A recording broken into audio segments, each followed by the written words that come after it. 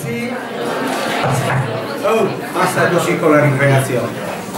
Allora, prima di iniziare, c'è il professor Colombo che è l'autore del libro che voi avete studiato con me in questi due mesi, di cui poi parlerò un attimo. Prima di tutto una cosa, lui è rimasto sorpreso dalla quantità di persone che c'è a quest'ora, che c'è alle otto e mezza, dice ma tu li costringi ragazzi ditegli che vi ho abituati a un metodo democratico hai visto? sono contenti vero? Guarda che pensa a traiettoria, una scena orribile questa. Come? Assistere a una cosa orrenda altre Va bene, va bene ragazzi. Allora, professor Colombo, del quale vi ho parlato diverse volte durante il corso, collega che gode della mia massima stima, ha scritto molti volumi, in particolare accennerei a due volumi che secondo me con questo formano una trilogia, cioè una successione logica di discorso che è iniziata più o meno una decina d'anni fa con il libro sulla guerra edito dal Mulino, poi ha avuto un'altra tappa, se non sbaglio nel 2009 con la disunità del mondo, 2010. 2010, sì, con la disunità del mondo che pure adottai a suo tempo e adesso questo sulla crisi. Vi consiglio la lettura anche degli altri due volumi perché formano tutti insieme una riflessione molto importante sui processi della globalizzazione e la sua crisi. La scomposizione, c'è molto l'insistenza su una cosa, la scomposizione dei linguaggi e del eh, in qualche modo apparato concettuale che noi abbiamo, ci siamo portati dietro. Questa è una cosa sulla quale abbiamo molto insistito nel corso, voi vi ricordate? L'analisi delle parole. Ecco, per esempio, la riflessione sulla guerra, che era contenuta nel primo dei tre volumi che vi ho citato, il primo volume è Il Mulino, il secondo è Feltrinelli come questo, parte proprio dall'idea di come si sia scomposta l'idea di guerra, di come non corrisponda più ai modelli classici sul piano di, del diritto Grozio, sul piano dell'analisi fattuale Clausewitz, di come entrambe queste cose non rispondano più. E oggi siamo andati avanti su questa riflessione. Vi ho detto come rivelatrice in fondo di tutto l'impianto del libro sono proprio le ultime parole con cui si conclude il libro. L'esaurimento del linguaggio, la difficoltà di trovare parole che descrivano i fenomeni presenti. Bene, magari a partire proprio da questo io chiederei a Alessandro di illustrare le tesi centrali del suo libro, che sono su quello, quello su cui io vorrei che noi discutessimo. Boh, a parte gli scherzi e le battute sono convinto che ci sarà un certo dibattito anche perché di solito c'è stato quando io ho detto certe cose e quindi non ho capito. A me contestate e a lui no cos'è questo trattamento di riguardo? Eh, quindi ci sarà sicuramente ragione per cui facciamo così. Io mi limito a questo tanto del libro io ho parlato molto durante questo corso l'abbiamo continuamente citato abbiamo fatto anche tre incontri sui primi tre capitoli, il quarto non siamo riusciti, con vostri colleghi che lo illustravano, il che ha dimostrato che poi al di là di un primo aspetto che può avervi disorientato, la forte concettualizzazione di esempi dati un po' per scontato, eccetera, eh, però il libro è ampiamente comprensibile, discutibile e utile didatticamente. Quindi la prima impressione, infatti io ricordo che le prime volte eravate piuttosto disorientati, trovavate dura questa lettura, però poi vedo che vi ci siete abituati.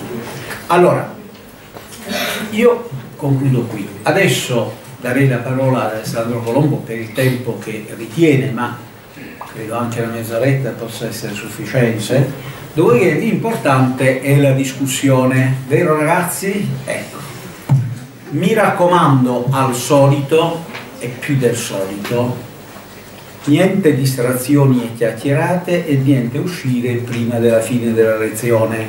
Ci siamo capiti? va bene. Alessandro. Grazie. Allora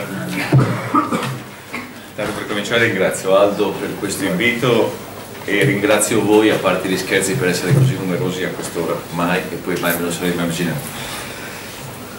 Eh, io credo come Aldo che la cosa migliore sia in realtà dibattere con voi, anche perché per me parlare ancora di questo libro è un'esperienza quasi auto-ipnotica.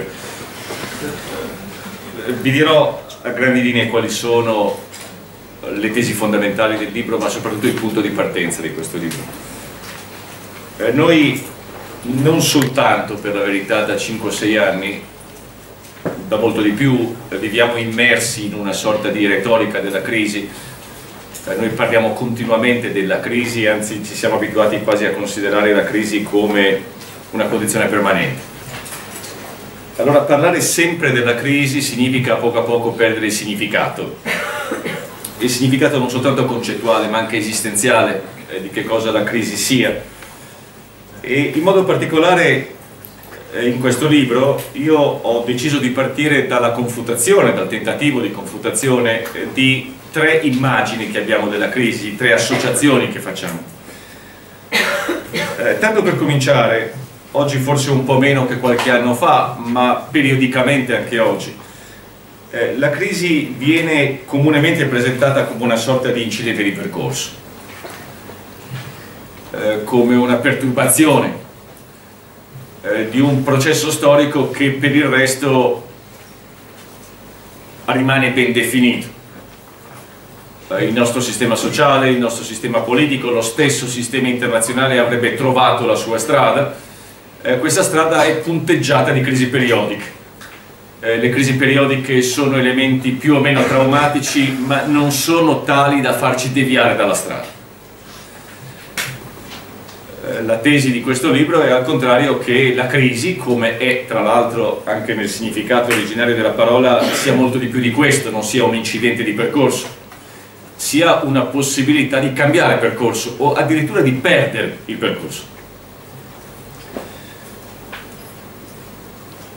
All'immagine della crisi come incidente eh, si associa, e non è casuale che si associ, una seconda immagine che è molto diffusa soprattutto nel dibattito pubblico, soprattutto nelle dichiarazioni rassicuranti, inevitabilmente rassicuranti, va detto, eh, degli uomini politici e degli intellettuali che fanno il seguito di questi uomini politici.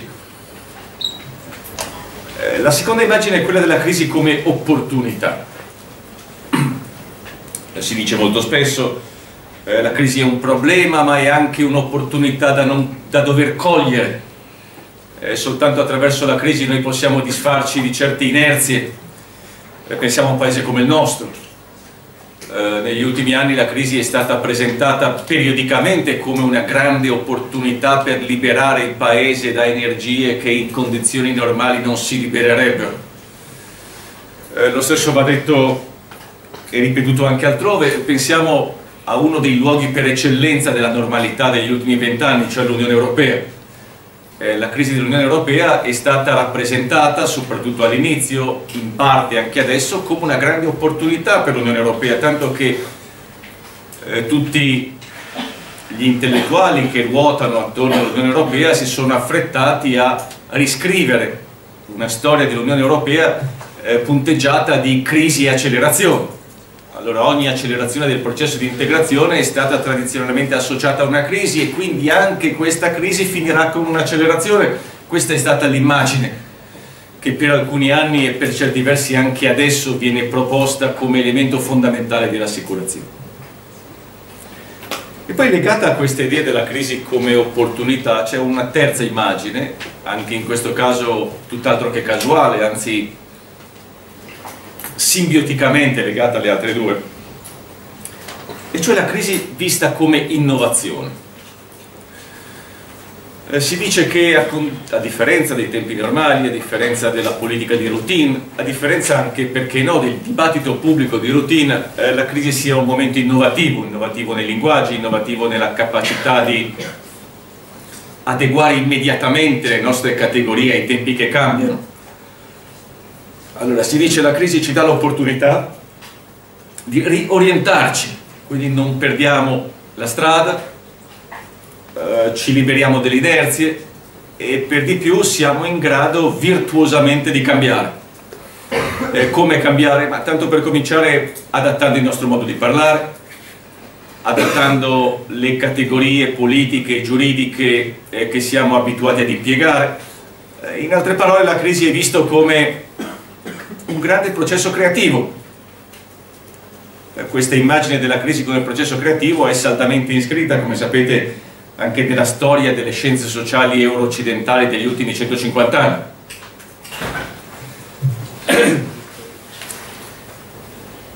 Allora, questo è il punto di partenza, per partire da queste tre immagini consolatorie e cercare di ribaltarle. E ribaltandole, e qui arriviamo invece alle tesi, anche se ve le dirò in modo un po' schematico, a rischio anche di dirle in modo caricaturale, eh, il primo punto eh, credo che oggi sia sempre più comune per la verità riconoscerlo. Eh, il primo punto sul quale insisto in questo libro è il fatto che noi viviamo in un contesto storico eh, che in modo appariscente vive una successione di crisi diverse.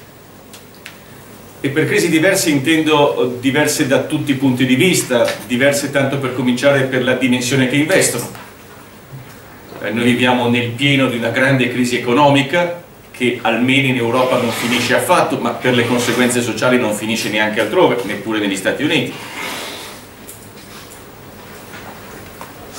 Eh, noi viviamo una serie di crisi diplomatico-strategiche internazionali, pensiamo soltanto a quest'anno, una specie di calvario diplomatico, il 2014, la crisi ucraina, eh, quello che sta avvenendo tra Siria e Iraq, eh, abbiamo vissuto negli ultimi vent'anni una serie continua di crisi che hanno richiesto o almeno hanno posto la questione dell'intervento internazionale, qualche volta c'è stato, altre volte no. Quindi crisi diverse per la dimensione che investono, alcune investono economica, altri investono nella dimensione diplomatica e militare. Eh, crisi diverse per il loro orizzonte geografico, geopolitico non siamo più all'epoca del bipolarismo, non siamo neanche più all'epoca della prima metà del Novecento. Eh, per tutto il Novecento le grandi crisi internazionali sono state crisi potenzialmente globali. Eh, la crisi di Cuba era una crisi automaticamente globale. Nell'attuale contesto storico noi viviamo crisi che avvengono in un luogo e che hanno ripercussioni molto diverse negli altri luoghi. Noi non rischiamo più, non temiamo più una grande guerra globale eh, non esiste una guerra globale oggi, né probabilmente esisterà nei prossimi anni, questa è l'unica, credo, buona notizia. Ma per tutto il resto noi abbiamo una serie di crisi che rischiano di sfociare in guerre e che hanno una dimensione prevalentemente regionale, quindi sono diverse anche per questa ragione. Allora la tesi del libro è che nonostante tutte queste diversità, nonostante questa eterogeneità nella natura e nella geografia delle crisi, eh, tutte le crisi dell'attuale momento storico siano in qualche modo collegate tra loro. Eh, che non toglie niente al fatto che le crisi hanno posto in gioco diverso, che non toglie niente al fatto che le crisi abbiano protagonisti diversi, e che non toglie niente neppure al fatto che le crisi abbiano pericolosità molto diverse tra loro. Ma tutte queste crisi sono almeno in qualche cosa collegate tra di loro. E questo qualche cosa che legherebbe tutte le crisi tra loro è per l'appunto una crisi generale dell'ordine internazionale. E crisi generale dell'ordine internazionale non significa soltanto crisi delle relazioni politico-diplomatiche esterne tra gli Stati. La crisi generale dell'ordine internazionale significa anche crisi politica, giuridica e sociale degli Stati al loro interno perché la separazione tra politica interna e politica internazionale è tanto più solida quanto più solido è l'ordine. Quando voi vedete crollare l'ordine, quando voi vedete le grandi, fisi, le grandi, le grandi fasi di sommovimento, nel libro si parla soprattutto di due grandi fasi precedenti alla nostra, il 1848 e la fase che segue la rivoluzione bolscevica del Novecento. Allora anche in quelle fasi storiche la differenza tra interno e internazionale viene meno. Eh, la differenza tra interno e internazionale è un prodotto politico-giuridico e nel momento in cui il castello politico-giuridico della nostra nozione di ordine viene scosso e viene scossa anche la distinzione e allora i conflitti internazionali penetrano nelle giurisdizioni interne e i conflitti interni diventano conflitti internazionali. Allora da dove viene questa crisi dell'ordine? Eh, perché viviamo una crisi generale dell'ordine.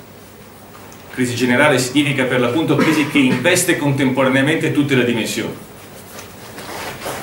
e che investe soprattutto la nostra capacità di distinguere tra le diverse dimensioni. Ma da un lato c'è uno sfondo che probabilmente è lo sfondo più importante. Eh, la vera ragione della crisi credo che sia in questo sfondo, anche se alla fine il libro ha finito per concentrarsi su altri aspetti. E lo sfondo è il fatto che, ben noto, eh, che il nostro ordine internazionale, la nostra nozione di ordine internazionale, tutte le categorie che usiamo, a cominciare da quella dalla quale alla quale abbiamo fatto riferimento qualche minuto fa, cioè la distinzione tra politica interna e politica internazionale. Eh, tutte le nostre categorie hanno un carattere moderno, sono il prodotto di un'evoluzione storica che sostanzialmente va dal 500 fino al 900 e sono il prodotto in modo particolare di due centralità che oggi sono a dire poco problematiche. Eh, quando noi parliamo di politica internazionale moderna, quando noi parliamo di diritto internazionale moderno, quando noi parliamo, oggi si usa sempre più spesso questa espressione, di sistema internazionale westfaliano, queste tre cose sostanzialmente sono accomunate da due grandi centralità. Che cos'era il sistema westfaliano, che cos'è la politica internazionale moderna, che cos'è lo Ius Publicum Europeum di Carl Schmitt? Ma sostanzialmente due cose, tante altre, ma due al centro. Eh, tanto per cominciare, un sistema politico-giuridico centrato sullo Stato. Eh, lo Stato è la creatura fondamentale della nostra nozione di ordine, eh, che significa che tutte le nostre categorie politico-giuridiche presuppongono lo Stato e non hanno senso al di fuori dello Stato, politica interna e politica internazionale, l'idea del confine, la nostra stessa idea di cittadinanza ma la nostra stessa retorica europea del superamento dei confini o di Schengen, Schengen non è così straordinario se non presupponiamo lo Stato come punto di partenza. Allora il moderno è, tanto per cominciare, dominato da un artefatto politico-giuridico che è lo Stato e che ha costituito il centro del nostro modo di praticare e concepire la politica e il diritto internazionale. Ma il moderno non è soltanto questo, naturalmente. L'altro elemento centrale del nostro modello di ordine, che ce ne ricordiamo oppure no, ma dobbiamo ricordarcene anche per comprendere le angosce attuali dell'Europa, l'altro elemento centrale è stata la centralità europea e occidentale. Eh, dire che il modello westfaliano è solo centralità dello Stato significa perdersi la cosa più importante, cioè che lo Stato era Stato europeo e che il sistema internazionale moderno è stato costruito fino a pochi decenni fa su questa centralità, presupponendo questa centralità e non discutendo mai questa centralità. Allora è qui la radice dello scossone principale all'ordine interno e internazionale che stiamo vivendo in questi anni e che in realtà abbiamo cominciato a vivere da alcuni decenni. Tutte e due queste centralità, la centralità dello Stato e la centralità dell'Occidente, per ragioni diverse, con tempi diversi, con modalità diverse sono entrate in crisi o quantomeno sono diventate problematiche. E a questo si aggiunge un aspetto più superficiale della crisi dell'ordine, che è l'aspetto sul quale ho deciso in realtà di concentrarmi di più, eh, non perché sia il più importante, ma perché, tornando a parlare dell'altro aspetto del libro, cioè l'aspetto delle retoriche, quindi non soltanto dei processi storici, ma delle retoriche che li accompagnano, è il pezzo dell'ordine che è stato al centro delle retoriche degli ultimi 25 anni. E negli ultimi 25 anni, come sempre nei dopoguerra, noi non dimentichiamocelo, stiamo vivendo un dopoguerra fallito sostanzialmente. Il dopoguerra fredda è un dopoguerra fallito, cioè un dopoguerra che non è riuscito a creare un modello di ordine alternativo.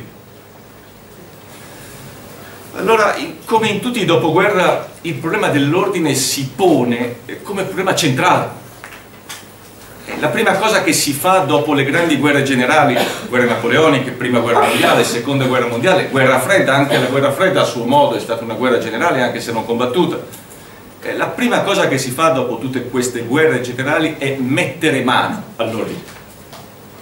E non è casuale, è il momento giusto perché c'è un soggetto, o per meglio dire c'è un gruppo di soggetti che ha appena vinto e quindi ha il potere di farlo poi è il momento giusto perché la guerra viene vissuta in qualche modo come un fallimento dell'ordine precedente. Eh, l'ordine post-bellico non può essere come l'ordine pre-bellico, perché l'ordine pre-bellico ha dato un esito che non vogliamo che sia ripetuto. E allora il libro vive un confronto nell'ultima parte, ma in realtà è un confronto sottinteso anche nelle parti precedenti, con quella che anche dal punto di vista personale ricordo come la retorica con la quale ho cominciato a fare questo mestiere, cioè la retorica dell'inizio degli anni 90, cioè la retorica del nuovo ordine internazionale. Eh, la retorica del trionfalismo degli anni 90 perché noi siamo soltanto 20 anni più tardi, ma il clima culturale, le rappresentazioni del mondo, le aspettative sul futuro si sono letteralmente ribaltate in 20 anni. Eh, gli anni 90 sono stato probabilmente l'apice dell'euforia e anche per certi versi dell'ottusità ideologica che io ricordo. E di che cosa era fatto uh, quel modello di ordine internazionale e di che cosa è fatta quindi la crisi colossale che stiamo vivendo di questo modello? Ma tanto per cominciare quel modello di ordine internazionale era un modello, non uso per caso questo avverbio, confortevolmente gerarchico. Eh, confortevolmente perché il carattere strettamente gerarchico dell'ordine internazionale post-bellico degli anni 90 avrebbe dovuto costituire il suo segreto di funzionamento. Eh, l'ordine internazionale degli anni 90 era un ordine nel quale i ruoli erano chiaramente definiti. Eh, non ci poteva essere competizione su chi avesse il diritto o il potere di entrare nella cabina di comando. La cabina di comando era stata appena costituita ed era naturalmente costituita dal paese più forte, quello che ha appena vinto la guerra, cioè gli Stati Uniti, e dai suoi alleati tradizionali, i paesi europei prima di tutto, la Nato come traduzione istituzionale di questo rapporto, e poi anche tutti gli altri che gli anni 90 furono un decennio di corsa sul carro degli Stati Uniti, eh, per l'ovvia ragione che non c'erano carri alternativi. E anche chi decise di non correre sul carro degli Stati Uniti si guardò, si guardò bene dall'ostacolare quel carro, penso alla Federazione Russa, penso alla Cina. Eh, già allora non vedevano con favore questo modello di ordine internazionale, ma allora non erano in condizione di controbilanciarlo neppure in modo leggero, come si dice oggi. Allora modello gerarchico significava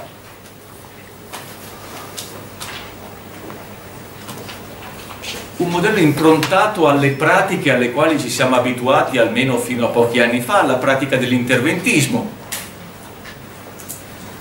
È la grande stagione degli interventi internazionali, umanitari, militari o militari umanitari. È la pratica delle sanzioni, gli anni 90 sono la grande stagione delle sanzioni, non solo le sanzioni mirate che vedete adesso, ma anche sanzioni di tipo classicamente terroristico, come le sanzioni contro l'Iraq nel corso degli anni 90.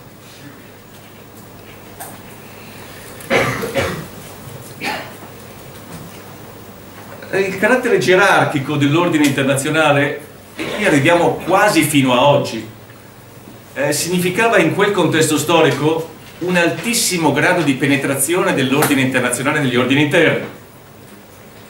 Eh, il tema della transizione al mercato e alla democrazia, eh, le politiche di condizionalità degli aiuti, eh, la stessa politica di allargamento dell'Unione Europea e dell'Alleanza Atlantica viste come politiche di riconoscimento e di progressivo premio alla transizione.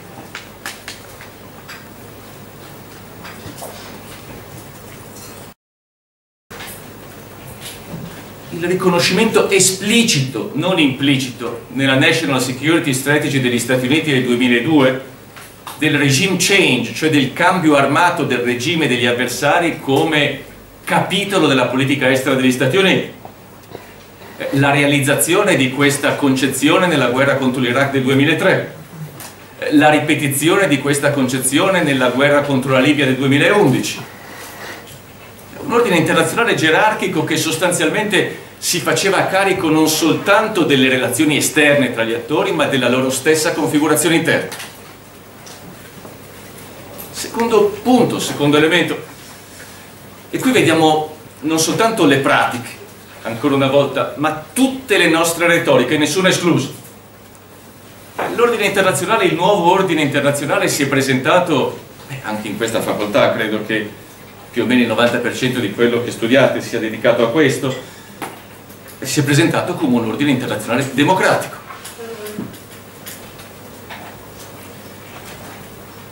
Eh, democratico significava, dovrebbe significare, tanto per cominciare, che il segreto di funzionamento dell'ordine internazionale sta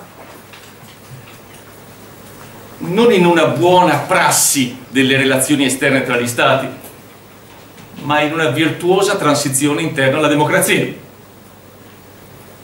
La stessa scienza politica, la stessa politica comparata, da alcuni anni a questa parte si occupano prevalentemente di transizione alla democrazia. Il democratico significava eh, che sin dall'inizio degli anni 90 e fino a che ha funzionato il meccanismo anche più tardi, eh, l'ordine internazionale si presentava come un ordine internazionale esplicitamente discriminante c'è un ordine internazionale nel quale le democrazie avrebbero dovuto avere ruoli e diritti diversi da quelli di tutti gli altri stati.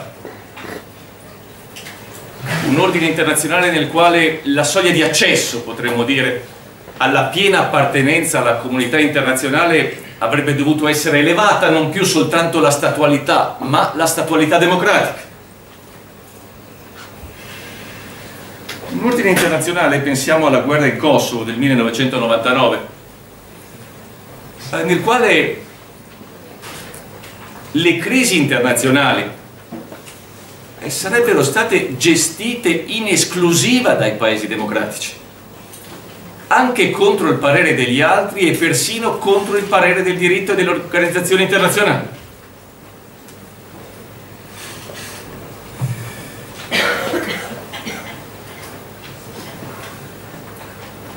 gerarchia,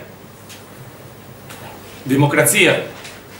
Il terzo pezzo, il terzo elemento di funzionamento, ma anche il terzo pezzo delle nostre retoriche, l'ordine internazionale si presentava come un ordine universale.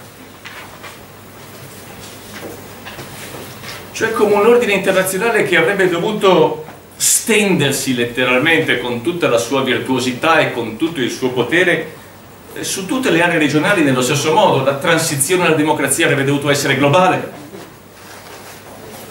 Eh, quando il modello di ordine fu rovesciato e militarizzato dopo l'11 settembre, all'idea della transizione globale alla democrazia e al mercato fu sostituita l'idea della guerra globale al terrore. Eh, due vicende molto diverse naturalmente, ma due vicende accomunate dalla cosa più importante, cioè la globalità. E poi per ultimo, non dimentichiamocelo, l'altra parola magica degli ultimi 25 anni, eh, l'ordine internazionale degli anni 90 si presentava non soltanto come un ordine gerarchico, ma non casualmente proprio perché gerarchico anche fortemente istituzionalizzato, le istituzioni democrazia, universalità, istituzioni. Eh, le istituzioni avrebbero dovuto essere il grande ammortizzatore sociale e giuridico della differenza di potere. Negli anni 90 ci si immaginava quello che in realtà avvenne soltanto nel 1991 in occasione della guerra contro l'Iraq, e cioè una perfetta collaborazione che era anche una perfetta subordinazione delle organizzazioni internazionali rispetto ai paesi vincitori della guerra fredda. Il ruolo delle istituzioni venne presentato come un ruolo di ammortizzatore, in realtà dall'inizio fu un ruolo di moltiplicatore, le istituzioni internazionali servirono a legittimare sostanzialmente lo strapotere dei più forti. Allora tutto questo meccanismo si è sfasciato. Il modello confortevolmente gerarchico eh, si è complicato per effetto di una redistribuzione sempre più evidente del potere del prestigio internazionale. Oggi la distribuzione del potere internazionale non somiglia più a quella dell'inizio degli anni 90. Eh, ci sono grandi potenze in ascesa, pensate alla Cina, eh, gli alleati più stretti degli Stati Uniti, cioè i paesi europei, sono in crisi disperante. Gli stessi Stati Uniti hanno perso una parte del proprio potere, ma soprattutto hanno perso una parte considerevole della propria disponibilità e della propria capacità di impiegarlo. Pensate allo stato quasi desolante della politica estera americana degli ultimi anni. Oggi noi parliamo di Barack Obama, è possibile che il bilancio in politica estera di Barack Obama eh, debba essere definito un bilancio fallimentare, ma non dimentichiamoci che questo bilancio fallimentare viene dopo altri otto anni di bilancio fallimentare di amministrazione Bush. Quindi in questo caso noi avremo 16 anni di bilancio fallimentare della politica estera del paese più forte, che è una catastrofe per il paese più forte, ma è una catastrofe anche per tutti gli altri. La democrazia. Eh, ieri è venuto il nuovo satrapo egiziano a venire a, ad essere sostanzialmente ringraziato per aver instaurato un regime autoritario sulla sponda sud del Mediterraneo. Eh, gli Stati Uniti e i paesi europei hanno totalmente rinunciato alla retorica della transizione alla democrazia. Anzi, gli Stati Uniti e i paesi europei sono tornati ad avere una vera e propria passione per il regime autoritario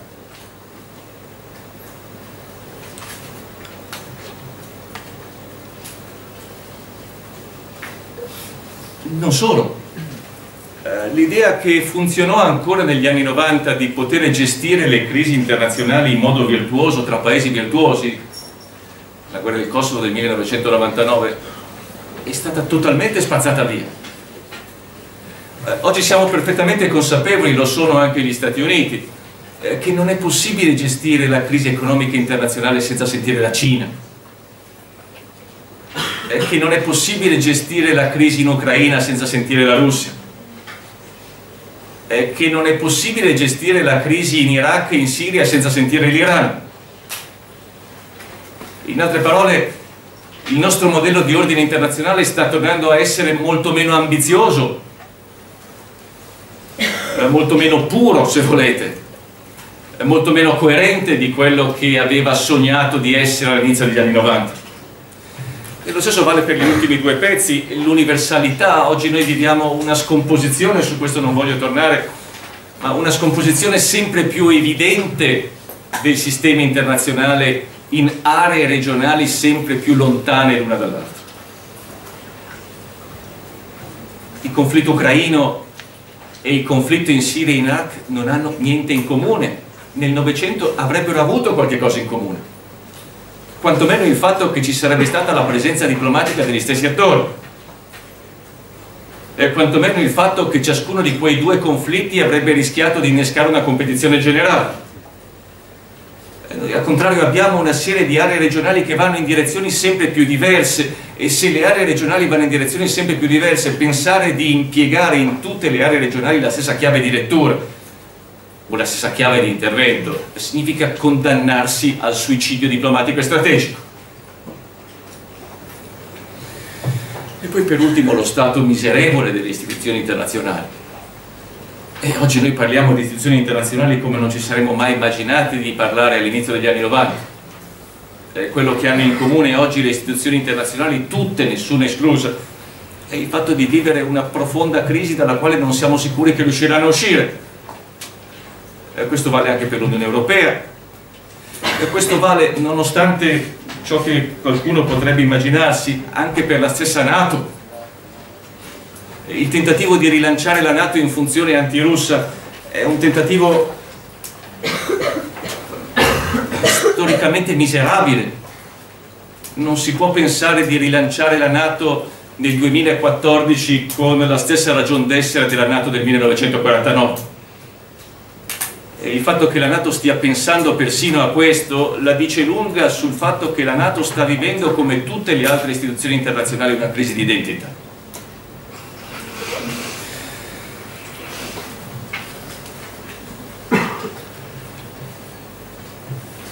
Allora, volevo dire altro ma non voglio rubare tempo. Aggiungo qualche cosa sul tema del linguaggio.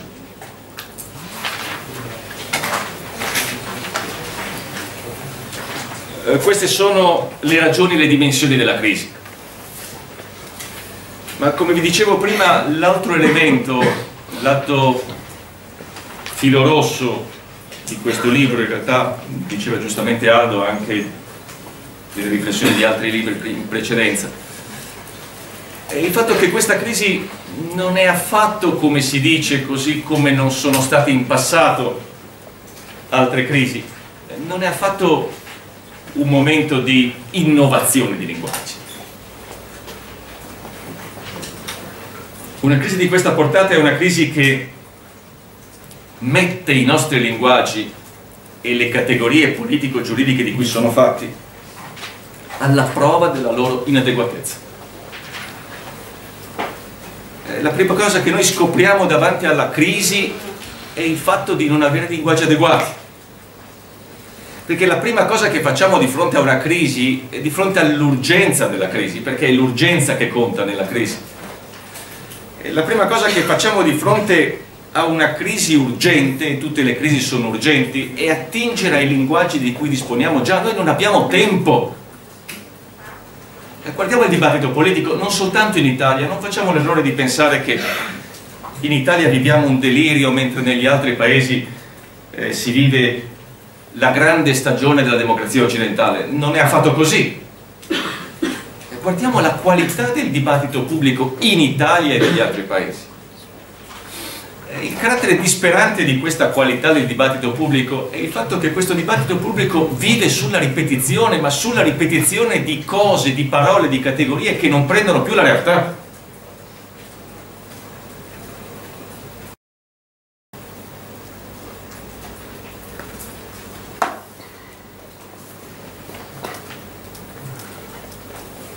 Eh, restando per adesso alle cose di cui mi occupo di più, cioè alla politica internazionale, pensiamo proprio a quello che ha evocato Aldo all'inizio della lezione, cioè alle due nozioni che comunemente vengono poste al centro del nostro modo di comprendere e anche valutare politicamente la politica internazionale, cioè la nozione di pace e la nozione di guerra.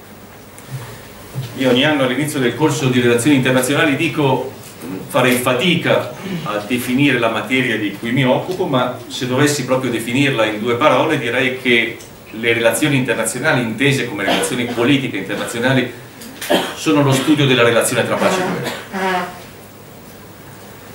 Lo studio della relazione tra pace e guerra eh, presuppone il fatto che noi sappiamo che cosa sia la pace, che cosa sia la guerra. E per tutto l'Ottocento e ancora per un buon pezzo del Novecento, tanto i giuristi, quanto i militari, quanto i diplomatici, quanto i cittadini e non avrebbero avuto troppe esitazioni a definire la pace a definire la guerra, lo avrebbero fatto con diverse capacità, lo avrebbero fatto da diverse prospettive, ma pace e guerra erano chiaramente definite, cioè chiaramente separabili sia dal punto di vista concettuale sia, ed è la cosa più importante, dal punto di vista esperienziale. Non c'era bisogno di essere giuristi, non c'era bisogno di essere diplomatici per sapere quando si era in pace e quando si era in guerra e dove si era in pace e dove si era in guerra. Oggi viviamo una condizione storica che si è andata progressivamente accumulando nel corso della seconda metà del Novecento, una condizione nella quale la distinzione tra pace e guerra è andata totalmente scomparendo. E questo è un elemento che ricordo da qualche mese a questa parte perché è molto significativo. In uno degli ultimi documenti ufficiali del Dipartimento della Difesa degli Stati Uniti, gli Stati Uniti, cioè il paese più importante, non il paese più forte, non semplicemente il paese più forte, ma il paese che si erge a custode dell'ordine internazionale. Allora, il paese che si erge a custode de dell'ordine internazionale riconosce in questo documento, e cito più o meno letteralmente, all'inizio del XXI secolo la distinzione tra pace e guerra è sostanzialmente venuta meno. Allora dire che la distinzione tra pace e guerra è venuta meno significa dire implicitamente che parlare di ordine internazionale significa fare una cosa impudente perché non ci può essere ordine internazionale laddove non c'è almeno una chiara distinzione tra la pace e la guerra noi dobbiamo sapere in anticipo dove possiamo essere in pace perché se non sappiamo in anticipo dove possiamo essere in pace noi potenzialmente siamo in guerra ovunque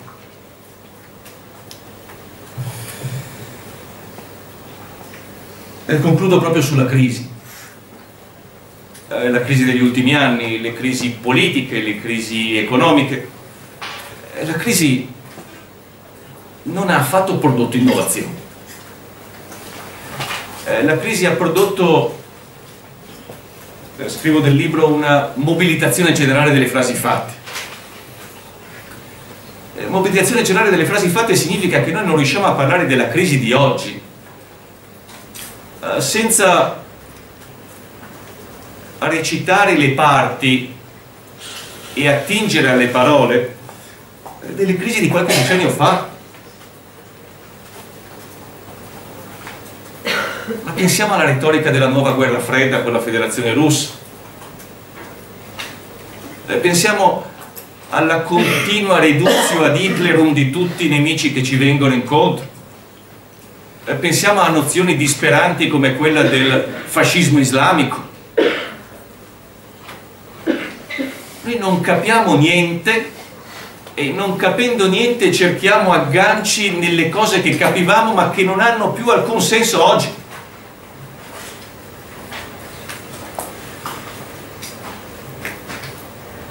Io chiuderei qui. Grazie.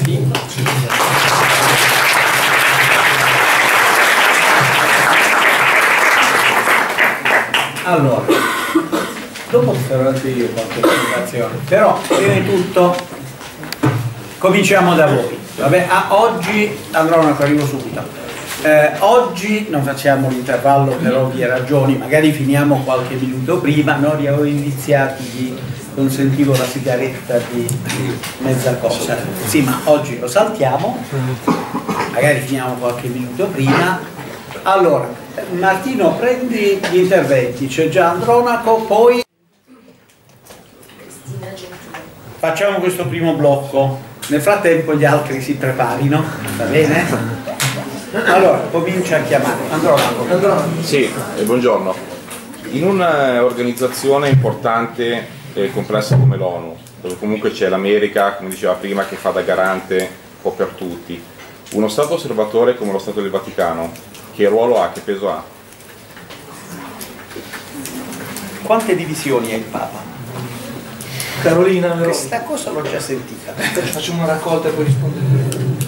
Eh, però zio Giuseppe si sbagliava. Forza. Io avevo una domanda rispetto allo stato d'eccezione, cioè um, se esiste una struttura normativa, comunque un'organizzazione di istituzioni eh, tale da non dover implicare per forza uno stato d'eccezione per far fronte ad una crisi. E per? Pensando, per, eh, per, far fronte ad una crisi. E pensando all'esempio che si fa nel libro, cioè quello in cui c'è una repubblica, quella romana, e lo stato d'eccezione implica una dittatura, nel caso invece in cui la dittatura ci sia già e anzi abbia posto essa eh, le basi per una crisi, cosa si fa? Tommaso. Sì, io volevo ricollegarmi anche in parte al discorso dei termini, al discorso dei termini che non sono preleguati, quindi praticamente io mi chiedevo se lo studio delle crisi passate fosse abbastanza fine a se stesso nel tentativo di cercare di risolvere la crisi odierna. Simone Filippini. Eh, lei ha parlato prima dell'impossibilità di una guerra globale, ma all'interno di una crisi globale, un concatenamento di crisi, eh, com'è possibile non essere sempre in guerra? Alessandra. Allora io volevo ricollegarmi al tema del linguaggio. Eh, lei dice che eh, in un periodo di crisi ehm, risulta inadeguato appunto logurato questo linguaggio e conduce, può condurre all'afasia nel tempo. La mia domanda è se è possibile, eh, visto che non è possibile fare una rivoluzione con questo linguaggio inadeguato, se è possibile una rivoluzione del linguaggio prima della fine della crisi e se può, può avvenire partendo da ragionare in termini de- della complessità. Ho segnato un Davide, ma ce ne saranno diversi. Sì, Io volevo chiedere, cioè il peso, un po' il peso di, di- anche di- che ha l'economia, cioè il modello neoliberista all'interno del- dei processi anche degli Stati Uniti che, che spesso, che ormai il mondo si è adattato un po', ha accettato mh, ormai di, di- assumere questo modello come, come portante, trainante anche in, uh, in contesti culturali diversi, dove magari hanno una, una tradizione diversa e, e quanto gli Stati Uniti cioè, riescano quindi a, a trarne vantaggio da internazionalmente, anche dalle guerre che, che portano. Martina.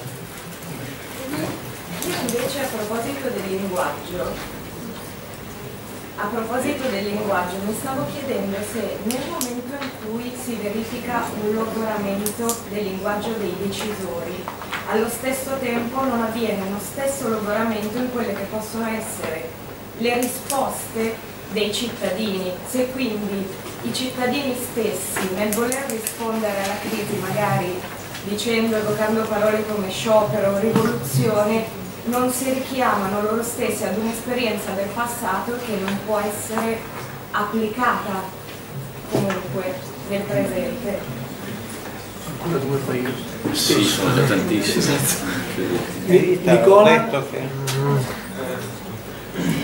Beh, io mi collego anche alla, alla domanda di prima, nel senso, ho letto una- un articolo sul Corriere l'altro giorno che eh, parlava di, del- dello, dello scoppio del, del conflitto in Italia negli ultimi due mesi tra eh, i fatti di Tor Sapienza, di immigrati contro, contro i cittadini o l'attacco alle sedi di partito, ai leader politici o i conflitti che stanno scoppiando nelle periferie per gli sgomberi adesso, tutta una serie di cose che ti fanno pensare a- a- allo, allo scoppio di, appunto, di conflitto non, eh, non ben organizzato in realtà ma che, che denuncia ma- malcontento, malcontento diffu- diffuso.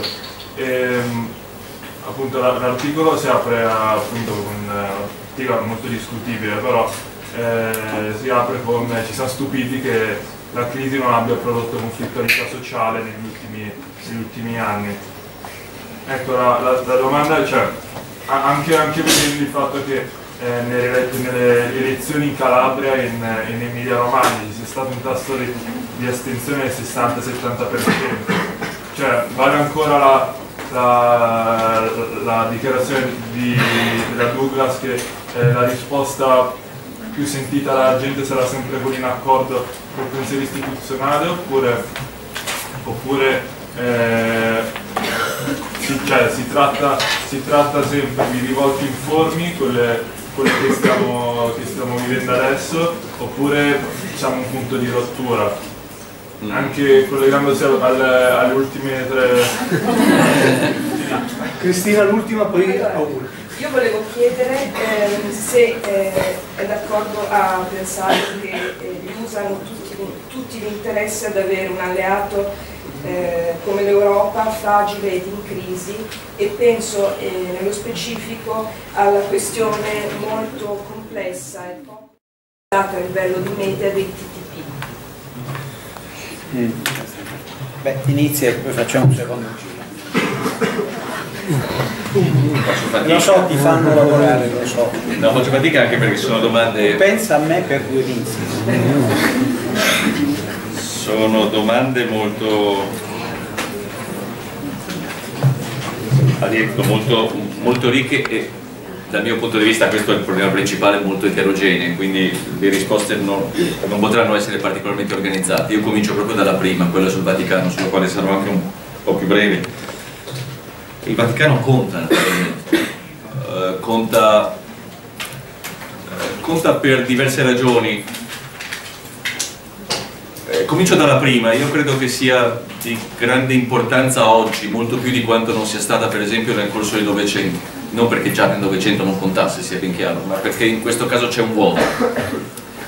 Il Novecento è stato un secolo saturo di universalismo. È stato un secolo dominato dal conflitto tra universalismi, in modo particolare dominato dall'universalismo democratico-liberale da un lato e da quello socialista e comunista dall'altro. Eh, dopo la fine del Novecento, con la fine del bipolarismo, che è stata la fine del Novecento, eh, noi oggi disponiamo di un solo universalismo politico attivo, che è quello democratico-liberale espresso dagli Stati Uniti, ma anche dai paesi europei. Ecco, il Vaticano è un soggetto che non dispone di divisioni, ma che dispone di universalismo. Eh, Il Vaticano parla un linguaggio universale e parlando un linguaggio universale, anche se da una posizione diplomatica, strategica e irrilevante, ma riesce a sfidare l'altro linguaggio universale. E lo ha fatto periodicamente, Eh, devo dire eh, il Vaticano si è trovato spesso in rotta di collisione con gli Stati Uniti negli ultimi 25 anni. E non credo affatto che sia casuale, proprio perché si pongono su uno stesso piano di universalità. Ricordo una cosa, perché su questo come su tante altre cose l'informazione, la stampa e il mondo intellettuale che ormai davvero è meglio non giudicare eh, stanno operando una congiura del silenzio. Allora da alcuni anni a questa parte, da alcuni mesi a questa parte in occasione soprattutto della grande ondata jihadista in Siria e in Iraq ci si sta scandalizzando per la sorte delle comunità cristiane in Medio Oriente eh, questa era precisamente la ragione per la quale tra il 1990 e il 1991 il Vaticano, unico soggetto nella politica internazionale, disse no alla guerra contro l'Iraq del 1991. Il Vaticano nel 1990-1991 disse se gli Stati Uniti fanno questa guerra la sorte delle comunità cristiane in Medio Oriente sarà pregiudicata per sempre. Eh, questo era l'esito inevitabile, questo è stato l'esito. Chi ha voluto quella guerra e tutte le guerre successive fa finta di non avere responsabilità sull'esito di questa coesistenza che è saltata completamente. Per chi ha condotto guerre e embarghi negli ultimi 25 anni è il responsabile vero di quello che sta accadendo in Medio Oriente. Eh, sullo stato d'eccezione. Ci sono tentativi continui nel corso del Novecento di regolare giuridicamente lo stato di eccezione.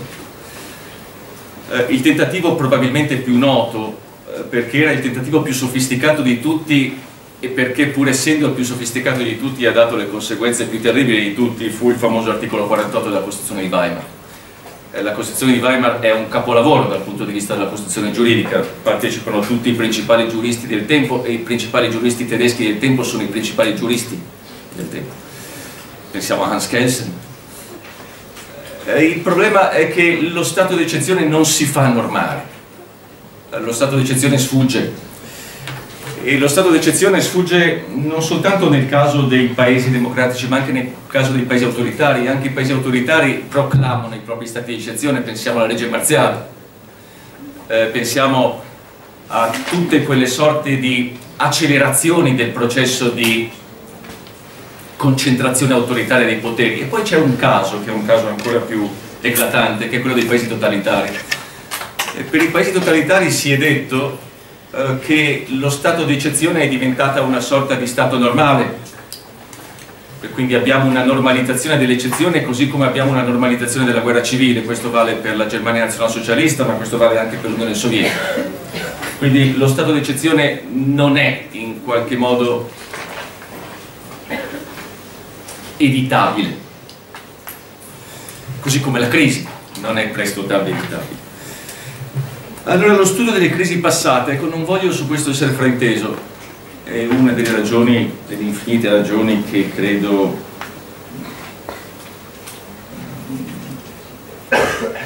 creano qualche disaccordo tra me e la maggior parte dei miei colleghi che si occupano di discipline simili alla mia. Io sono convinto che lo studio della storia sia fondamentale, sono convinto che sia un disastro che le facoltà di scienze politiche e non solo quelle di scienze politiche stiano smantellando gli studi storici. E così come sia un disastro il fatto che le facoltà di scienze politiche smantellino gli studi di filosofia politica o di storia di dottrina politica. Eh, studiare la storia non significa pensare che la storia si ripeta, ma significa tanto per cominciare capire la relatività storica del nostro tempo e ricordarsi, ammesso che ci sia bisogno di ricordarsi, che tutto nella storia è reversibile, compreso quello che ci appare non reversibile. E la storia ci serve a questo e credo che questo dobbiamo scolpircelo nella testa continuamente, soprattutto in contesti storici come si sono presentati quelli degli ultimi vent'anni che si sono autorappresentati come momenti di compimento della storia. Eh, sulla guerra globale, eh, bisogna intendersi su che cosa sia una guerra globale. Eh, le guerre globali sono state quelle del Novecento e le guerre globali erano globali eh, non semplicemente perché si combattevano ovunque, eh, se fossero state globali solo per questo noi potremmo dire che anche noi oggi viviamo una specie di guerra globale, ma non è così. Le guerre globali erano globali tanto per cominciare perché i protagonisti che le combattevano erano ovunque gli stessi, perché la posta in gioco era ovunque la stessa e perché l'esito sarebbe stato ovunque lo stesso. Nella seconda guerra mondiale non si poteva vincere sul fronte orientale e perdere sul fronte occidentale si vinceva o si perdeva da una parte e dall'altra insieme. Eh, nell'attuale contesto storico noi abbiamo una serie di guerre che sebbene si presentino nello stesso momento hanno protagonisti diversi, poste in gioco diversi e avranno anche esiti diversi. In questo senso non credo che sia, che sia corretto parlare di globalità. Eh, due cose prima di passare al linguaggio. Il modello neoliberista il modello neoliberista faceva parte naturalmente della grande architettura dell'ordine internazionale degli anni 90. Oggi per la verità eh, noi abbiamo nella attrattività di questo modello oh, degli elementi molto più problematici. Eh, diversi studiosi americani, persino diversi economisti americani allo scoppio della crisi del 2007-2008 si sono preoccupati del contraccolpo in termini di legittimità della crisi economico-finanziaria, dicendo questa crisi non è soltanto un problema economico, questa crisi è anche un problema politico, perché questa crisi eh, mette in dubbio la legittimità, l'esclusività, l'efficacia del modello che abbiamo promosso negli ultimi 15 anni e non è un caso che negli ultimi 5-10 anni ci sono state proposte alternative di sviluppo economico, in modo particolare proprio la proposta della Cina. Eh, Sull'Europa non lo so, non so se gli Stati Uniti abbiano particolari interessi a un'Europa debole hanno interesse a un'Europa un non troppo forte, su questo non ci sono dubbi, ma non credo affatto che abbiano l'interesse ad un'Europa debole, perché la preoccupazione fondamentale degli Stati Uniti, penso all'amministrazione di Barack Obama, ma anche la nuova amministrazione, qualunque sia, si dovrà porre lo stesso problema. Il problema fondamentale degli Stati Uniti è mantenere la propria egemonia economicamente, diplomaticamente e militarmente sostenibile eh, gli Stati Uniti sono consapevoli che il loro livello attuale di impegni non è sostenibile, eh, che le risorse di cui dispongono per quanto esorbitanti non sono sufficienti a reggere il peso di tutti questi impegni. E uno dei modi prevalenti per cercare di superare il problema è quello di redistribuire i carichi con gli alleati. Questa è stata la politica di Barack Obama. Barack Obama ha cercato disperatamente di chiedere agli alleati di fare di più affinché l'America facesse un po' di meno. E un'Europa in crisi da questo punto di vista per gli Stati Uniti è un terribile problema, perché i paesi europei oggi non possono dare di più agli americani proprio in un momento in cui gli americani ne avrebbero più bisogno. Eh, la decisione di tutti i governi europei di tagliare le proprie spese per la difesa, per esempio, è stata vista dagli Stati Uniti come una catastrofe. Sul linguaggio Allora, anche su questo non vorrei...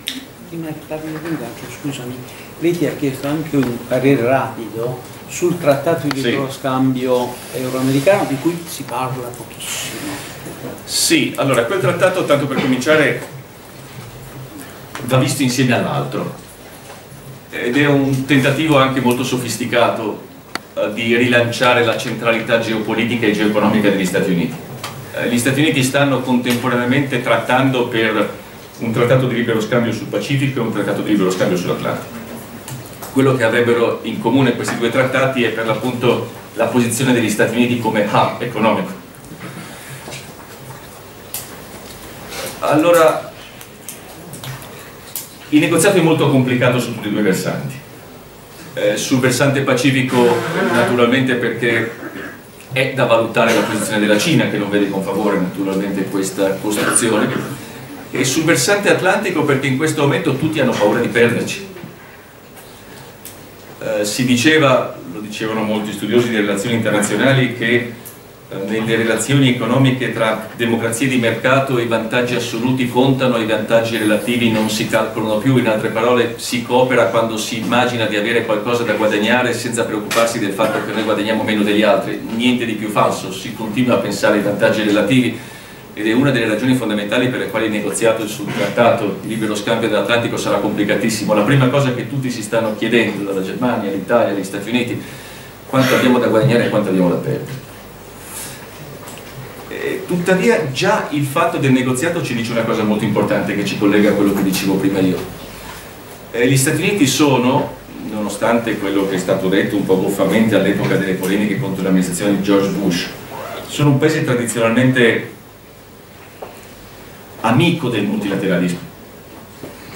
Eh, tutte le grandi istituzioni multilaterali di cui disponiamo oggi sono state fondamentalmente delle creazioni americane ma il multilateralismo americano degli anni 40 e degli anni 50 era un multilateralismo che pensava in termini universali.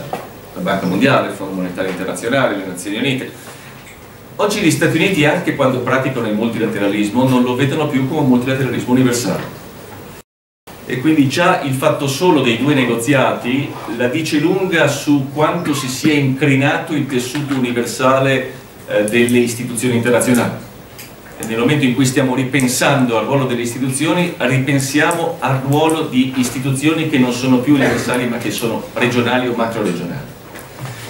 Ci sarebbero altre cose da aggiungere. Sul linguaggio. Sul linguaggio, sul linguaggio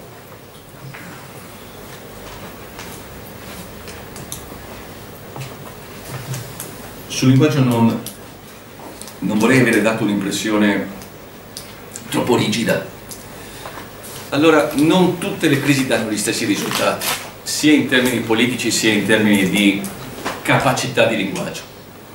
Ci sono delle crisi, delle grandi crisi del passato eh, che hanno prodotto in realtà, o che si sono innestate più che hanno prodotto, su una disponibilità di nuovi linguaggi in grado di reinterpretare il politico. Eh, pensiamo per l'appunto alla crisi che accompagna la prima guerra mondiale eh, nell'immediato dopoguerra si cerca di riprendere le fila del mondo prebellico, ma riprendere le fila del mondo prebellico è diventato sostanzialmente impossibile, le vecchie classi dirigenti appaiono immediatamente come le classi dirigenti di un secolo prima, se non che in quel momento c'erano dei linguaggi disponibili, è come se c'erano linguaggi disponibili, è quello che rende affascinante il periodo infrabellico, ma il periodo infrabellico è un pieno di linguaggi, eh, non casualmente di linguaggi che investono la sfera politica, la sfera artistica, la sfera letteraria, è un periodo straordinario dal punto di vista culturale e dal punto di vista politico. Poi ci sono contesti come il nostro nel quale la crisi avviene in un vuoto totale di linguaggi.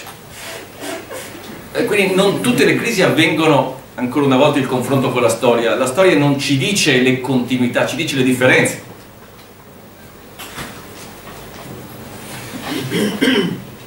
Vostro collega diceva, leggendo un articolo sul Corriere, non credo di averlo letto, ma anzi sicuramente non l'ho letto, ma eh, ci sono conflitti sociali, ci sono conflitti sociali in Italia, ci sono conflitti sociali negli altri paesi europei, ci sono conflitti sociali, basta pensare a queste ore negli Stati Uniti.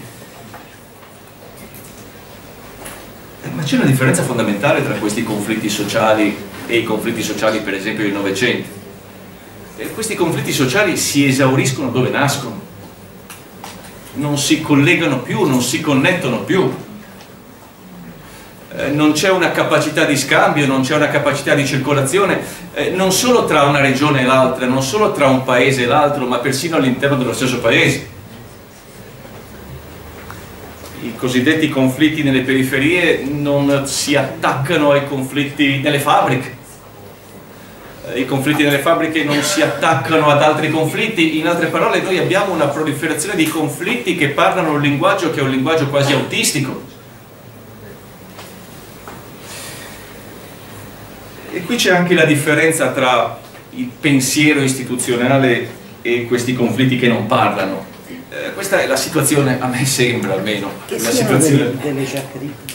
Sì, sono delle giaccherie, sono delle giaccherie, sono delle giaccherie, cioè sono, sono dei conflitti che non hanno più, per esempio, l'aggancio che aveva invece il conflitto rivoluzionario con una qualche filosofia della storia o con qualche progetto di trasformazione, qui non c'è nulla da trasformare, o per meglio dire, ci sarebbero molte cose da trasformare, ma non c'è una direzione, non c'è una ma anche una capacità simbolica, perché poi nella sfera politica la capacità simbolica conta. Ecco, la collega diceva, la nostra collega, che è necessario pensare la complessità. È necessario pensare la complessità, ma semplificarla.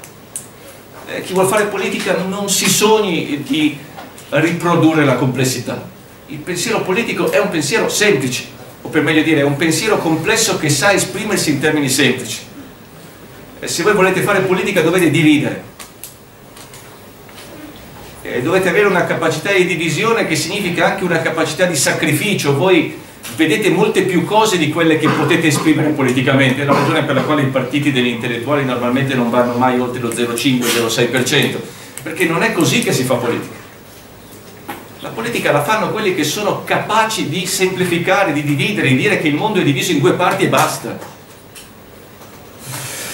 Eh, il rapporto tra il pensiero istituzionale e il pensiero, pensiero il linguaggio, perché c'è anche qui naturalmente un linguaggio di queste jacquerie. Eh, il pensiero istituzionale è condannato alla ripetizione, ma non è casuale. Perché è chi è più socializzato al pensiero dominante che paradossalmente è meno capace di liberarsi. È la ragione per la quale nelle grandi fasi di trasformazione spesso gli intellettuali sono gli ultimi a capire parlo contro di me, parlo contro di noi. È la ragione per la quale nelle grandi fasi di trasformazione le università sono l'ultimo luogo nel quale si capisce la trasformazione. Più che altro si cerca di combattere. no, non farmi andare oltre. Eh, e non è affatto casuale che la rivolta sociale, le piccole rivolte sociali, perché parliamo almeno fino adesso di piccole rivolte sociali, avvengano i luoghi anche linguisticamente periferici. Io non mi stupisco affatto che eh, lo scontro sociale avvenga eh, non semplicemente nelle periferie delle città, ma nelle periferie tout court.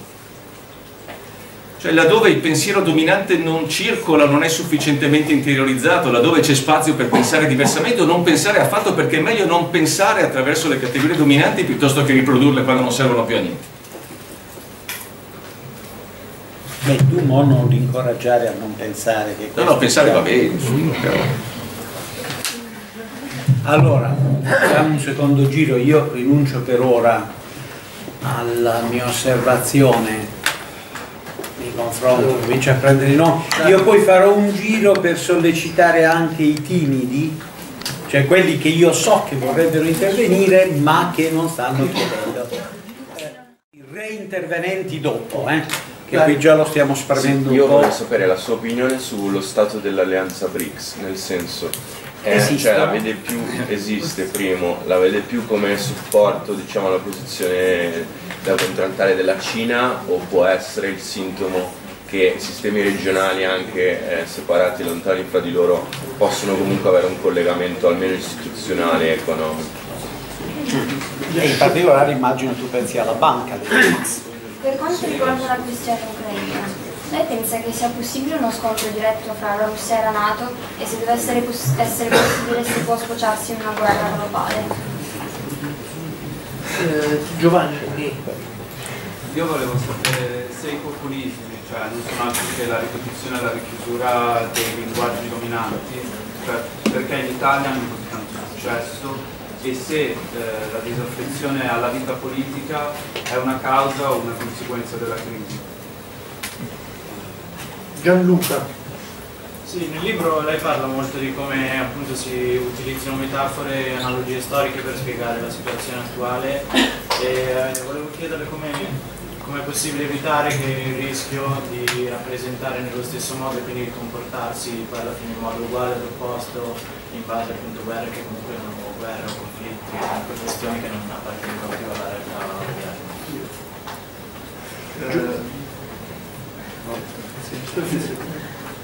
Giovanni Pastori. Eh, volevo chiedere eh, cosa sono gli usi in bello e gli usi ad bellum, cioè la definizione, non scrivete cosa sono.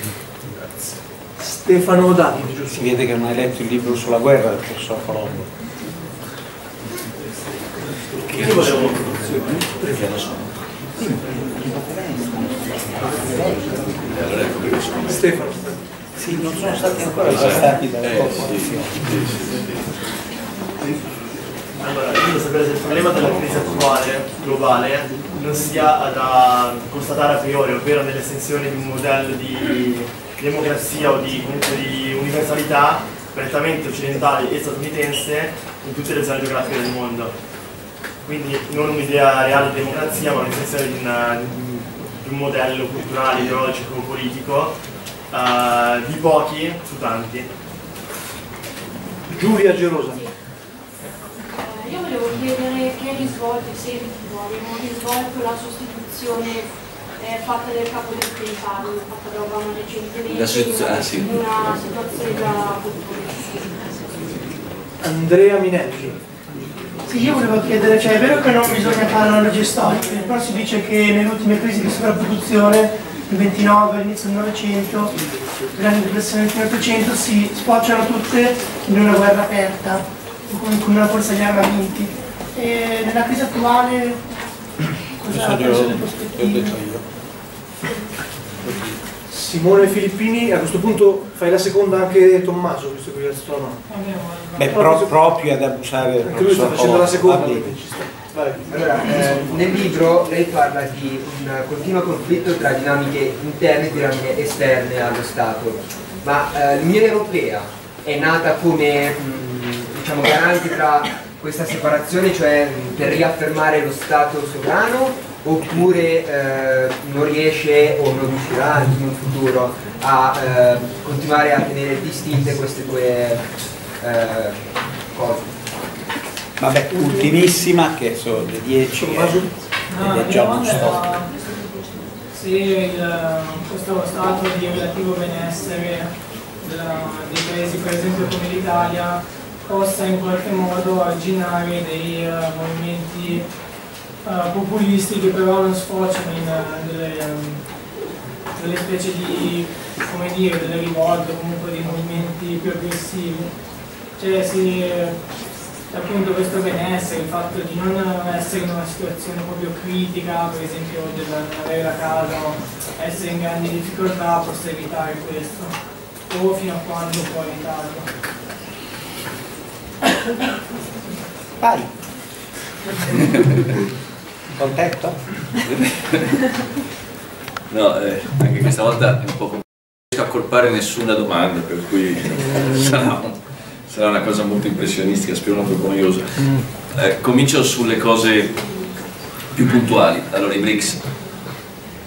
Eh, I BRICS eh, in realtà non sono un'alleanza, Eh, sono un tentativo di mettere insieme paesi in ascesa che oltretutto sono in ascesa molto diversa tra loro, c'è molto poco in comune tra l'ascesa della Cina e la posizione della Russia, la Cina è un paese che cresce, la Russia è un paese che declina, già questo crea una profonda differenza perché la percezione del proprio paese come di un paese in ascesa o come di un paese in declino eh, cambia totalmente il modo in cui viene rappresentato il sistema internazionale, per di più sono paesi che hanno esigenze economiche diverse, sono paesi che spesso anche hanno conflitti politici tra loro, pensiamo all'India e alla Cina, pensiamo alla stessa Cina, alla stessa Russia. Allora l'unico interesse che hanno questi paesi è a riequilibrare il sistema, ma non credo che sia un interesse sufficiente a fare sì che i BRICS si trasformino in un, in un progetto o addirittura in un'alleanza coerente, non, non credo affatto. Sull'Ucraina io sono molto pessimista su quello che sta avvenendo e su quello che avverrà in Ucraina, l'unica cosa sulla quale sono ragionevolmente ottimista è il fatto che non penso affatto che ci sarà uno scontro diretto tra la Nato e, e la Federazione Russa, per mille ragioni. Eh, tanto per cominciare noi non abbiamo alcun sentore di nuove guerre fredde, la nostra è una condizione totalmente diversa da quella della guerra fredda. Eh, penso anzi che la crisi ucraina per certi versi, questa è una delle ragioni di preoccupazione, eh, la crisi ucraina è funzionale sia alla Russia di Putin sia alla Nato, perché eh, la crisi riaggrega naturalmente, la crisi ridà identità, eh, la crisi ridà ragione d'essere, questo vale sia per la di Putin che era relativamente in crisi all'interno della Federazione Russa, sia soprattutto per la Nato che eh, dopo l'esaurimento della missione in Afghanistan si trova sostanzialmente a non avere nulla da fare, che è la peggiore delle condizioni possibili per un'alleanza militare. Allora questa è una delle ragioni per le quali temo che la crisi duri, ma è anche una ragione non sufficiente a pensare che la crisi possa sfociare in una, uno scontro militare diretto, non sarebbe nell'interesse di nessuno, anzi tutte e due le parti sono molto attente a evitare qualunque rischio. È chiaro che una situazione di questo tipo è una situazione nella quale l'incidente può avvenire. Resto su, su, questi aspetti più puntuali, Ius ad bellum e Ius in bello, su questo rischierei di fare una lezione, ma dico molto brevemente di che cosa si tratta. Allora, quando noi cerchiamo di limitare la violenza, e tutte le società umane hanno cercato di limitare la violenza, eh, noi dobbiamo fare almeno tre cose. Eh, con riferimento alla guerra, ma anche con riferimento alla violenza in generale. Eh, la prima cosa è quella che è per l'appunto iscritta nella nozione di jus ad bellum, e cioè dobbiamo definire in anticipo quali sono le condizioni alle quali il ricorso all'uso della forza è legittimo e quindi fuori dalle quali il ricorso all'uso della forza non è legittimo. Uh, le norme dello jus ad bellum rispondono a questa prima domanda, quando è legittimo ricorrere all'uso della forza e quindi quando non è legittimo farlo. Seconda domanda, jus in bello, che cosa è lecito fare una volta che si ricorre all'uso della forza? E quindi, ancora più importante, che cosa non è mai lecito fare? Eh, terza domanda, che è implicita nella differenza tra ius ad bellum e ius in bello, che cosa è bellum? Cioè che cosa è la guerra? Dopo aver risposto, per meglio dire, prima di aver risposto alla domanda quando è lecito farla e che cosa è lecito fare in guerra, dobbiamo sapere che cosa è la guerra ed è la ragione per la quale, come vi dicevo all'inizio, non sapere oggi dov'è la distinzione chiara tra pace e guerra significa non sapere la cosa fondamentale che ci consente di avere l'ordine internazionale. La sostituzione, l'ennesima sostituzione della compagine di Barack Obama eh, non servirà, o per meglio dire, serve a dirci una cosa che sapevamo già, e cioè che la politica estera americana sta vivendo una fase di panico cognitivo eh, che si esprime in una continua oscillazione sulle politiche in tutte le dimensioni fondamentali. Questo non vale soltanto per Barack Obama, se voi pensate al passaggio dal primo al secondo mandato dell'amministrazione Bush avviene esattamente lo stesso, eh, Bush smantella la sua amministrazione dopo i primi quattro anni, nel riconoscimento che il primo mandato era andato malissimo, il secondo mandato è andato male e devo dire che la politica estera di Barack Obama fino adesso non ha ottenuto nessuno dei risultati che si era proposto, quindi è una specie di calvario e come sempre nei calvari di questo tipo si cerca continuamente nuove soluzioni e cercare nuove soluzioni significa anche cercare continuamente nuovi capi espiatori. Questo credo che sia l'unico messaggio che ci dà questo nuovo cambiamento che poi ha una serie di altri risvolti che no, non abbiamo tempo di affrontare. Eh,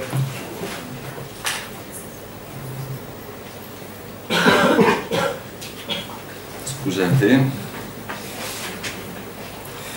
eh, scusatemi se dimentico qualche cosa se la crisi sia un prodotto del tentativo maldestro per non dire peggio di esportare un modello che è fondamentalmente occidentale in contesti istituzionali, culturali, geografici diversi dal nostro ma in parte sì ma soltanto in parte perché il grosso della crisi in questo momento è da noi. Cioè, il grosso della crisi non sta tanto nella, in una difficoltà di traduzione, ma proprio in una difficoltà del linguaggio che è stato tradotto.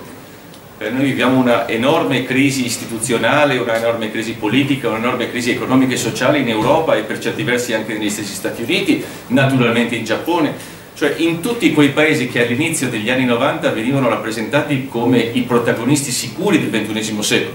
E quando all'inizio degli anni 90 la cosa come sembrava vera, ma si pensava a quali sarebbero stati i protagonisti del XXI secolo, ma non si pensava affatto alla Cina, la Cina non la nominava nessuno nel 1991-92, meno che mai l'India, meno che mai il Brasile, eh, si pensava agli Stati Uniti, si pensava all'Unione Europea e si pensava al Giappone. Allora la crisi ha investito proprio quelli che avrebbero dovuto essere i pilastri del nuovo ordine internazionale. Da questo punto di vista la crisi, o anche da questo punto di vista la crisi è così profonda, perché la crisi non ha colpito le aree periferiche dei sistemi internazionali, ha investito il centro.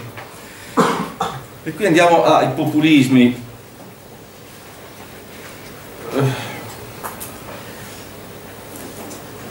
Allora, tanto per cominciare, io vi suggerirei di usare con estrema cautela a questo, a questo punto la nozione di populismo. Eh, la nozione di populismo è diventata, come altre nozioni in passato, una sorta di clava, non è più un concetto teorico, è una clava. Eh, si usa la nozione di populismo per denotare la Lega Nord, il Movimento 5 Stelle, Tsipras, Allianz für Deutschland, partiti diversissimi tra loro, con culture politiche diversissime, con stili politici diversissimi. Ecco, quando una categoria viene sovraestesa fino al punto da mettere insieme cose così diverse, io mi chiedo se quella categoria sia ancora utilizzabile oppure no, o quantomeno a quali condizioni può essere ancora utilizzata. Eh, il populismo è, al di là delle, delle diverse forme sempre ammesso che abbia ancora senso parlare o usare questa parola. Il populismo è chiaro che è una risposta, non è la causa della crisi. Il populismo come l'astensionismo, sono due cose totalmente diverse. Il populismo e l'astensionismo sono una risposta, eh, una risposta sicuramente non strutturata dal punto di vista del linguaggio, ma una risposta alla caduta di comunicazione politica alla caduta della rappresentanza, questo è il nostro problema. Eh, questo è un problema che è stato clamorosamente trascurato negli ultimi anni. Io parlo anche della scienza politica, parlo della politica comparata, parlo degli infiniti studiosi che studiano Unione Europea. Allora, gli studiosi che studiano l'Unione Europea erano gli unici esseri umani in Europa a non riconoscere che l'Europa viveva una crisi di rappresentanza abissale, allora una crisi della rappresentanza può essere tollerata nei momenti normali, ma nei momenti di crisi la crisi di rappresentanza finisce per produrre esattamente quello che sta producendo oggi. E l'altra cosa sulla quale dobbiamo smetterla di considerare l'Italia come un paese più malato degli altri, noi siamo più malati per certi versi, ma non in tutto. Il populismo non è un prodotto italiano. Eh, I populismi degli altri paesi sono spesso molto più diffusi e molto più inquietanti del nostro populismo. Ma confrontiamoci davvero con gli altri paesi, cioè andiamo a vedere che deriva sta prendendo la crisi della rappresentanza non soltanto in Francia, eh, non soltanto nei paesi più vicini, ma andiamo anche negli amatissimi paesi del nord Europa, andiamo a vedere che cosa sta accadendo in Regno Unito. Cioè noi saremo pure patologici, ma non siamo così patologici. O se siamo patologici noi viviamo in un manicomio continentale. Eh, su, questo, su, questo, credo che dobbiamo anche essere cauti, perché una delle, delle forme della patologia italiana è pensare che fuori di questo paese i problemi non esistano guardatevi a proposito di internazionalizzazione, ma leggetevi i quotidiani degli altri paesi su, online tutte le mattine vi guardate gli articoli dedicati alle stesse cose delle quali ci lamentiamo noi, compresa la scuola e l'università, sui giornali tedeschi, su quelli francesi e su quelli inglesi, ci perdete mezz'ora. Eh, leggete un articolo, due articoli per, per, giornata su ciascuno di questi giornali e vedrete che noi abbiamo, a proposito di storie, eh, confrontarsi con gli altri non significa naturalmente scoprire che noi siamo uguali, ma significa scoprire in che cosa siamo diversi, non in tutto, non c'è un solo fenomeno nella realtà che è diverso in tutto da tutti gli altri. Allora l'Italia ha le proprie anomalie, ha le proprie specificità, ma noi viviamo all'interno per l'appunto di una crisi generale che non è una crisi italiana, è una crisi generale. Vabbè, ti ringraziamo. Grazie a voi. Allora, ragazzi, ehm, io rinuncio a fare la mia osservazione, però propongo, abusando indegnamente della sua disponibilità, mi propongo una cosa. Quello che avrei voluto dirti lo trasformo in una lettera aperta che ti mando e che pubblico sul mio blog al quale gradirei aggiungere una tua risposta. Eh, avete visto come è contento? Va bene ragazzi, ci vediamo domani.